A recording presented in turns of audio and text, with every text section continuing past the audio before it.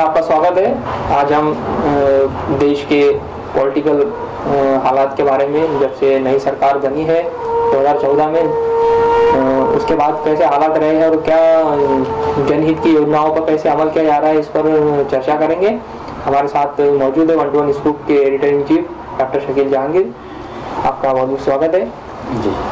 अ, सबसे पहले तो हम आपसे बात करना चाहेंगे कि 2014 में कांग्रेस सरकार के यूपी सरकार के जाने के बाद एक एनडीए सरकार बहुमत से आई है और उनका जो है तो सबका साथ सबका विकास के नारे के साथ बहुमत जो हासिल किया है उसको वो कैसे इम्प्लीमेंटेशन कर रहे हैं लगभग ढाई साल का अर्सा गुजर चुका है। आप उस पर क्या कहना चाहेंगे? देखिए तो सबसे पहले तो मैं ये कहूँगा कि आपका बहुत बहुत शुक्रिया कि आपने मुझे इस बात के लिए इनवाइट किया। कि इस पर हम चर्चा करें। अ, हम जानते हैं कि किस तरह से कांग्रेस की सरकार रही है यूपीए सरकार। यूपीए सरकार का एक जो बड़ा बैकग्राउंड रहा जो उनके लिए सैड बैक रहा वो था करप्शन करप्शन के मुद्दे को लेकर किस तरह से भुनाया गया और करप्शन का मुद्दा एक बड़ा मुद्दा था देश में। अ, उसमें बड़े बड़े आंदोलन हुए। किस तरह से अन्ना हजारे जो है खड़े हुए उसके लिए? केजरीवाल एक हीरो बन के सामने आए। तो एक करप्शन बहुत बड़ा मुद्दा था।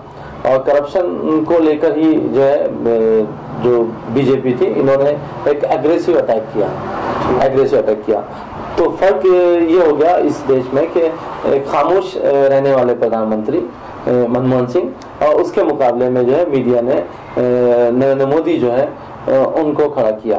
उनको खड़ा किया का मतलब ये था कि ये बताने की कोशिश की कि दो लोगों के बीच में फाइट है जैसे राहुल गांधी फ्यूचर के प्रधानमंत्री अगर होंगे तो राहुल गांधी वर्सेस नरेंद्र मोदी। तो राहुल गांधी अपनी बातों में बहुत कमज़ोर साबित हुए। बातों को जिस तरह से रखना चाहिए वो नहीं रख पाए और नरेंद्र मोदी ने जो है अपनी बात को बहुत मजबूती के साथ रखा और तमाम चीज़ों को उन्होंने बहुत अच्छी तरह से इस्तेमाल किया चाहे वो इलेक्ट्रॉनिक मीडिया हो, चाहे सोशल मीडिया हो, चाहे फिर संगठन हो, उसका भरपूर इस्तेमाल किया उन्होंने और और उन मुद्दों को लेकर भ्रष्टाचार के मुद्दों को लेकर बात लाई देश के सामने भ्रष्टाचार के मुद्दे को रखा और उसके साथ साथ एक बहुत मशहूर, जो हमेशा से चलता आया है, काला धन। जी काला धन और किसी उसमें ये बात भी आ गई सामने कि काला धन जो है जब मिल जाएगा इस देश को जब हम सत्ता में आएँगे तो पंद्रह पंद्रह लाख रुपए जो है हर देश के हर नागरिक के अकाउंट में मिल जाएँगे। तो ये इस तरह के वादे थे जो करके जो है महँगाई को हम कम करेंगे। महँगाई एक बड़ा मुद्दा था। कि महँगाई को हम कम करेंगे और हम जो है देश को एक नया विकल्प हम देंगे। और जनता ने जो है उनकी बात पे विश्वास भी किया और देश की 32 प्रतिशत जनता ने भारतीय जनता पार्टी को वोट देकर जो है सत्ता दी। हालाँकि विपक्ष जो है अड़सठ प्रतिशत है, लेकिन वो विभाजित था।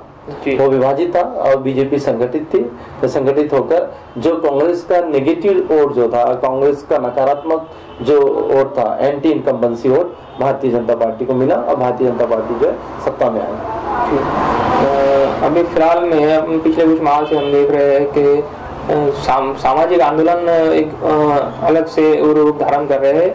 गुजरात का पटेल आंदोलन है महाराष्ट्र में पिछले एक डेढ़ माह से मराठा आंदोलन को लेकर बड़े बड़े मोर्चे निकल रहे हैं। और ये जो हो रहा है बीजेपी शासन वाले राज्यों में ही ज़्यादातर दिख रहा है।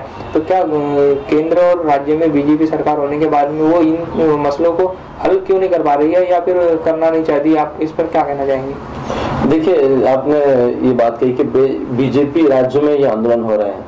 तो इससे पहले हम एक और बात मैं इसमें जोड़ लूँ एक आंदोलन जो है युवा का आंदोलन जिसको बोल सकते हैं। आप जेएनयू को भी आप जोड़ लीजिए इसमें। और हरियाणा की भी बात हम जोड़ सकते हैं कि किस तरह से यहाँ पर जो सरकारें हैं भारतीय जनता पार्टी की किस तरह से फेल साबित हुई है जनता के उन डिमांड्स को लेकर।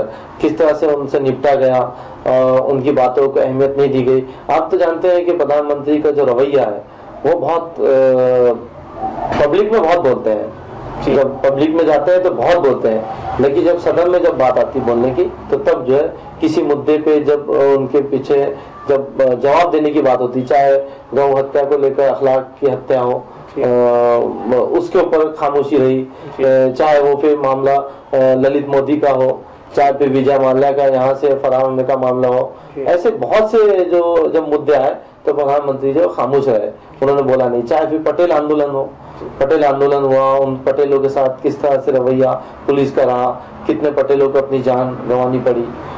इसी तरह से हरियाणा में भी हुआ। तो और अब हम महाराष्ट्र में भी देख रहे हैं कि महाराष्ट्र में भी बड़ी डिमांड मराठों की और बड़े अ, बहुत साइलेंटली जो उन्होंने अपने एक हिस्टोरिकल मोर्चे निकालकर खामोशी के साथ साइलेंट पीस मोर्चे निकालकर देश में एक इतिहास बनाया है मराठों ने भी। और इस बात को उन्होंने बताया कि अपनी डिमांड्स अहिंसा के तर- तरीके से आप कैसे रख सकते हैं। लेकिन अहिंसा से निकाले गए इन मोर्चों का भी कभी मज़ाक उड़ाया गया।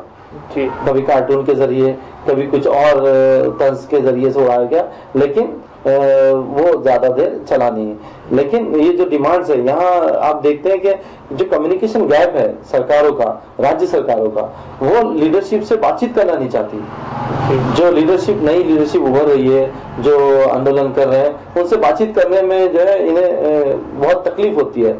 तो लेकिन देर सवेर ये होगा कि उन, इन युवाओं से बातचीत करनी पड़ेगी। अगर इन युवाओं से बातचीत नहीं करेंगे तो ये समाज की वो बेस्ड जाते हैं, वो वो लोग हैं जो समाज को बहुत मजबूती से और बीजेपी का बड़ा वोट बैंक आधार है तो इसका राजनीतिक घाटा जो है बीजेपी को तो दिखाई देगा आपको आने वाले चुनाव में। कि मैं इसमें एक बात जोड़ना चाहूँगा कि मुख्यमंत्री देवेंद्र फडणवीस जी ने खुद स्टेटमेंट दिया है कि हम ये जो मसला है बातचीत से ही सुलझेगा और इसके लिए इन्हें बातचीत के पहल करनी चाहिए। तो पहल करेगा कौन? ये तो सरकार ने उनको आमंत्रण देना चाहिए मोर्चा निकालने वाले आयोजकों को और उनके साथ बात करनी है पहले सरकार को करनी होगी क्योंकि इतनी बड़ी जब सपोर्ट जब मिल रहा है मराठा समाज का समुदाय का तो उसको सरकार को उसको गंभीरता से लेना चाहिए। और जो कार्टून की बात आपने कही है तो कार्टून जो जो पब्लिश हुआ है उसका अखबार में तो वो एक सत्ताधारी पार्टी का ही मुख्य पत्र है। और उसको इनको प्रॉब्लम को सॉल्व करने की बजाय ऐसे मज़ाक उड़ाना है कहाँ तक ठीक है? देखिए इस पे तो जो एक रंजिश भारतीय जनता पार्टी और शिवसेना के बीच चल रही है। आप देख रहे होंगे कि काफ़ी दिनों से नरेंद्र मोदी पे सीधे सीधे अटैक शिवसेना कर रही है। और पूरा खेल जो है सत्ता का है मुंबई इलेक्शन कॉर्पोरेशन के सामने। है और बीजेपी ये चाहती है कि वो सत्ता में आ जाए। और शिवसेना को वहाँ से उखाड़ फेंके और शिवसेना अपनी सत्ता जो कायम रखना चाहती है। तो इन तमाम चीज़ों को अगर आप गौर से देखें तो आपको समझ में आएगा कि किस तरह से उथल पुथल हो रही है। उद्धव ठाकरे ने माफ़ी मांगी, लेकिन देर आए, दुरुस्त आए। देर उन्होंने कर दी इस चीज़ को। मराठों का गुस्सा उन्हें झेलना पड़ा। लेकिन ये गुस्सा मैं समझता हूँ माफ़ी अगर बहुत जल्दी मांग लेते चाहे चाहे उनके संजय राउत माफ़ी मांग लेते शुरू में या उद्धव ठाकरे सामने आके माफ़ी मांग लेते तो ये बात इतनी तूल नहीं पकड़ती।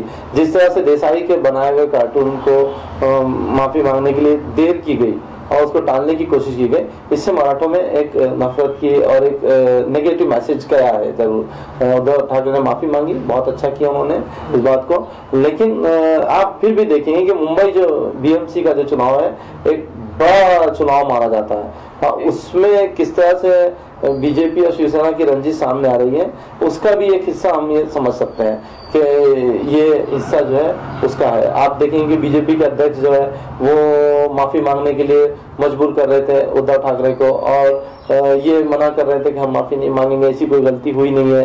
बहरहाल तो ये दोनों की रंजिशें हैं जो बीएमसी के चुनाव में आपको दिखाई देगी और चुनाव क्या किस रवैये किस ऊँट किस करोड़ बैठेगा ये अभी बताया नहीं जा सकता। राष्ट्रवादी कांग्रेस पार्टी के मुखिया शरद पवार कल नागपुर में थे।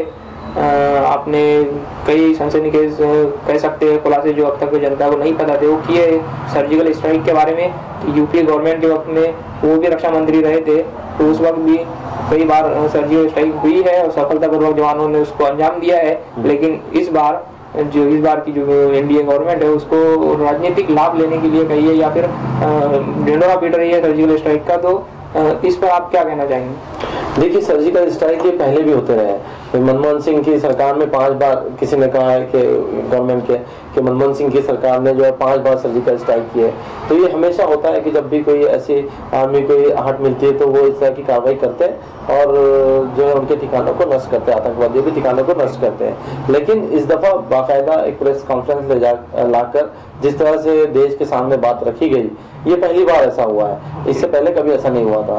तो उसमें उनकी मंशा जो भी हो किसी बीबीसी ने कहा कि राजनीतिक लाभ लेने के लिए ऐसा किया हो, ये देश की मतलब जो सिक्योरिटी है उसके लिए जो स्टेप लिया गया इससे पहले लिया जाता रहा लेकिन इस दफ़ा जो है उसे ज़ाहिर किया गया लोगों तक पहुँचाया गया। देखिए इसकी वजह भी आप देख सकते हैं बहुत बहुत साफ़ आपको समझ में आएँगी कि बहुत सी चीज़ें राजनीतिक लाभ के लिए जैसे आपने कहा कि शरद पवार जी ने कुछ कहा है। तो मैं इस पर तो मैं तो बहुत छोटा हूँ मैं इस बात पर इतना वो नहीं कर सकता लेकिन ये कि देश की रक्षा से जो है आप खिलवाड़ नहीं कर सकते।